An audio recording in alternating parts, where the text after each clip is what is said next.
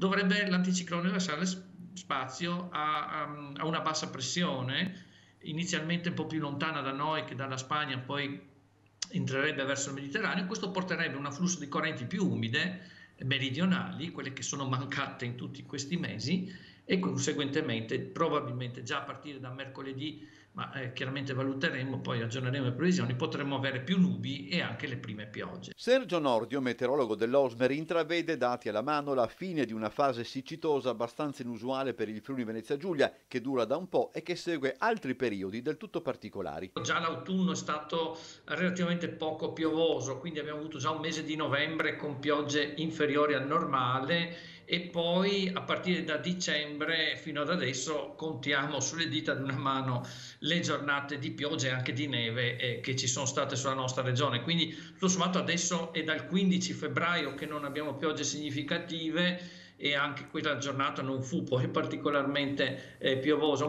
Va detto comunque che considerato in rapporto ad altri anni, neppure andando troppo indietro, non si può parlare di un evento straordinario.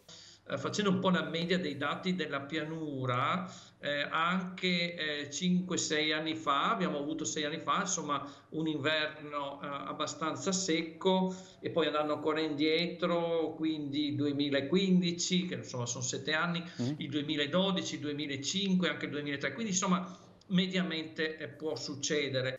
Va detto comunque che considerato in rapporto ad altri anni, neppure andando troppo indietro, non si può parlare di un evento straordinario. Ma quando è corretto parlare di siccità? In soldoni Nordio individua due fenomeni. Nel mese di marzo, per esempio per Trieste, ci aspettiamo un 80-90 mm di pioggia e quindi qualora questo valore sia inferiore, si dice al decimo percentile, quindi sono caduti meno di 10 mm se 100 è la media e quindi quello che è inferiore comincia a essere significativo no? ed è il caso di quest'anno quindi con eh, un marzo che finora è stato eh, completamente secco. No? Quindi si deve guardare al numero di giorni di pioggia in un mese. Se eh, in un mese ne abbiamo 7-8 di giornate di pioggia, quando questo valore è anche qua inferiore eh, in maniera significativa, siamo a zero eh. quest'anno nel 2022, quindi eh, parliamo in questo caso di periodo siccitoso. No?